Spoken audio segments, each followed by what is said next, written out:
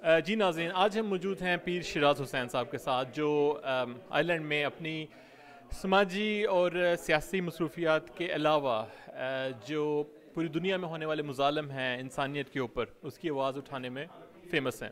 آج یہ یہاں موجود ہیں ہمارے امار علی کے ایونٹ کے اوپر، جس میں امیگریشن کے میٹرز کے اوپر بات کی گئی۔ ان سے پوچھیں گے کہ ان کا امیگرینٹس کے بارے میں اور آئی لینڈ میں بسنے والے جو خاص طور پر پاکستانی ہیں، ان کے مسائل کے بارے میں کیا کہنا ہے؟ پیر صاحب welcome to reporters twenty four کیا کہیے گا پاکستانی امیگرینٹس کے بارے میں جو آئی لینڈ میں بستے ہیں؟ ہاں، جی first of all thank you دے فیصل آپ کا اور آپ کے چینل کا، کہ جو آپ ماشاء اللہ ڈیوٹیز کر رہے ہیں کمیونٹی کے لیے قابل تعریف ہے۔ تو یہاں پہ جو سچی بات ہے، وہ یہ ہے کہ بڑی پیس لوننگ کنٹری ہے آئرلینڈ۔ اور یہاں کی امیگریشن آج سے دو چار سال پہلے تک تو بہت اچھی اور بڑی ٹھیک تھی۔ اس میں کچھ امیگرانٹس کی طرف سے بھی مسائل آئے ہیں اور کچھ یہاں لوکل جو اتھارٹیز ہیں ان کی طرف سے بھی۔ اور آج کل جو ہے نا کافی ڈیفیکلٹیز جو ہے نا ایتھنک کمیونٹیز کو نظر آ رہی ہے۔ اور ہم یہ توقع رکھتے ہیں کہ آنے والی گورنمنٹ اور کچھ ہمارے کمیونٹی کے جو لوگ ہیں یہ آپس میں مل بیٹھ کے اتفاق کے ساتھ جب کسی بھی ایشو کو لیں گے تو نو ڈاؤٹ اس میں آسانیاں پیدا ہوں گی۔ پھر صاحب، جب آپ کہتے ہیں کہ ہمارے لوگ مل بیٹھ کے تو اس میں صرف آپ پاکستانی کی بات کرتے ہیں یا تمام ساؤتھ ایشین کس کی بات کر رہے ہیں؟ نہیں اس میں تمام ساؤتھ ایشین جو ہے نا، لیکن آف کورس جو ہے نا، پاکستانی یہ پہلے مرحلے میں اکٹھے ہوں گے تو باقیوں کو ساتھ لے کے چلیں گے اپنے ساتھ۔ تو لہٰذا میں یہ سمجھتا ہوں کہ پہلے پاکستانیوں کو اکٹھا ہونا چاہیے آپس میں، پھر اسی رفتار کے ساتھ باقی کمیونٹیز کو بھی ساتھ جو ہے لے کے چلنا چاہیے۔ پھر صاحب آپ کی نظر میں کون سے تین ایسے بڑے ایشوز ہیں جو پاکستانیوں کو فیس کرنا پڑ رہے ہیں آئیلینڈ میں؟ ہاں جی بالکل۔ اس میں جو سب سے بڑا ایشو ہے نا، یہ ایک تو ہماری جو پاکستانی ہم سب لوگ ہمارے دل پاکستان کے ساتھ دھڑکتے ہیں، پاکستان میں جیسے بھی حالات ہوتے ہیں، وہ اثر انداز ہوتے ہیں ہم کے اوپر۔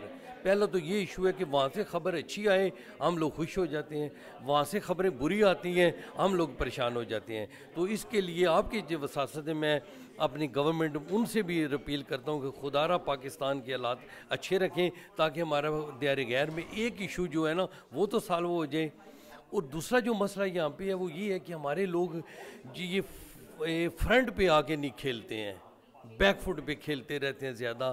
تو میں یہ چاہوں گا کہ ہمارے بہت ٹیلنٹ ہے ہمارے بچوں میں ٹیلنٹ ہے پڑھے لکھے لوگ ہیں یہاں پہ۔ یہ آگے آئیں، لوکل جو ہے معاملات کریں۔ جس طرح ماشاء اللہ تعالیٰ آپ کی میں مثال دوں گا ضرور۔ کہ آپ ینگ ہیں اور ینگ آپ نے بہت محنت کی ہے یہاں پہ، آج کمیونٹی کے مسائل آپ اجاگر کر رہے ہیں۔ اسی طرح سب لوگوں کو آگے آنا چاہیے۔ تیسرا جو ہے نا، یہاں پہ ایجوکیشن کی طرف اور اسلامک جو ایجوکیشن ہے، اس کی طرف بھی ہماری توجہ بہت زیادہ ہونی چاہیے کہ ہمیں اپنا بیس نہیں بولنا چاہیے۔ جو آسا ہم بولتے جا رہے ہیں، چونکہ ہماری بیس دین ہے۔ اسلام ہے، چونکہ اسی سے امن نکلے پوری دنیا کے لیے۔ آج یہ لوگ اسلام پہ عمل کر کے دیکھیں کہاں پہنچ گئے ہیں۔